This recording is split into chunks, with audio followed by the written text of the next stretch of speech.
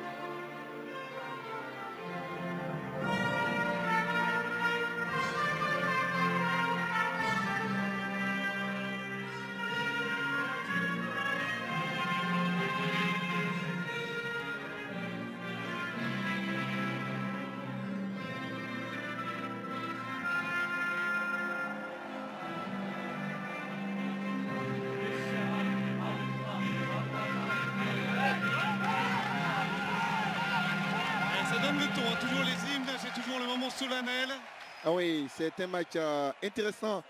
Point plus 11. Ils ont laminé pratiquement la formation de l'île Maurice, 8 buts à 0. Ah oui, en fait, on rappelle Ouais. qu'il y avait quatre poules, hein, que les premiers de chaque poule euh, se sont donc qualifiés, et les euh, Congolais qui ont battu euh, les Français au passage, avec une, pourtant une bonne équipe de France emmenée par Bernard Diomède. Vous voyez les compositions donc euh, des euh, Marocains, avec euh, notamment un joueur qui... Là, le numéro 17, je vous disais, il faut, faut se méfier de cet homme-là, Sofiane Keane, derrière notamment.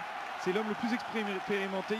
Enfin, depuis le début de la jeu, le jeu de la francophonie, on a notamment vu, euh, ouais, ils sont très vifs euh, les Congolais. Ils jouent surtout sur euh, du coup du- leur, leur vivacité, leur, leur appétit, leur. euh, Ah, il y aura des opportunités.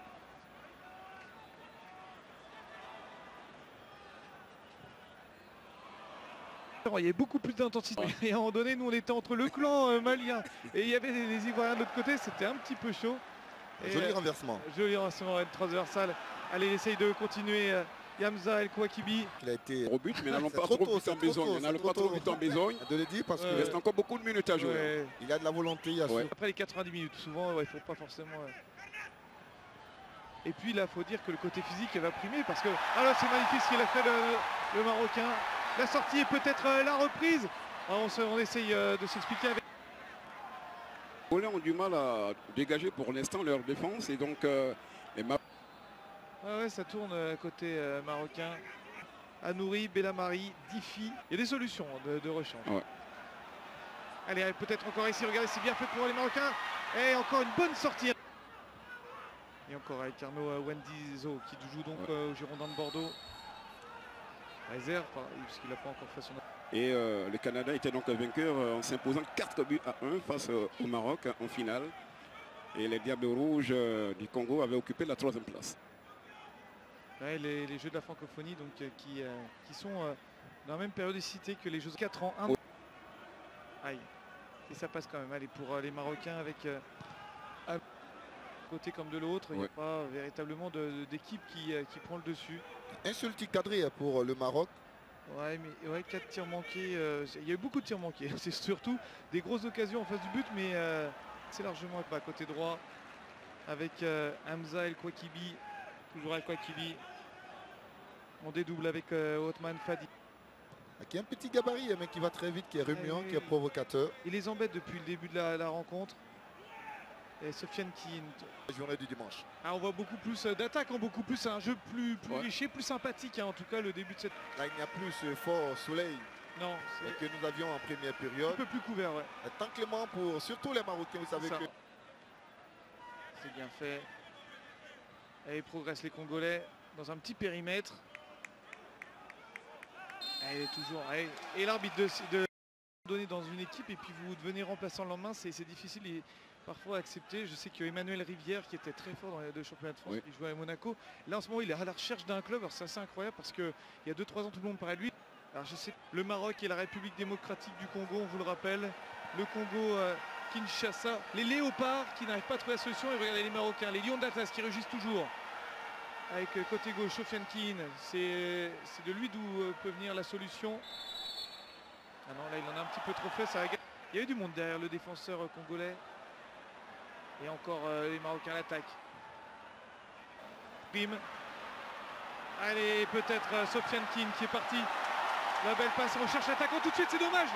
Peut-être ici dans l'intérieur. Et en jeu trop tard. Cette action-là. Regardez, il c'est tout de suite deux là. contre un. C'était Ouais. tout de suite. Et là, il tarde Ah un oui. Il peu était en position avant de lâcher le. Qui, euh, qui nous ont surpris également sur le Oui. de- Et le second qui en ce moment garde les buts des Corbeaux. Et le Mombashi en lieu et place du gardien ivoirien Sylvain. Ligue de champion. Pour l'équipe du WAC partager le groupe des. Oh frappe. Elle a frappé là. Regardez là, il s'ouvre le chemin des filets, il frappe, mais c'est plein axe. Et sur le gardien Jackson. Et Et encore là, il peut toujours marquer. Ouais. En plus, là maintenant, il sait qu'il va sortir, donc je vous dis pas, il va être euh, 10 minutes encore à jouer dans le temps réglementaire.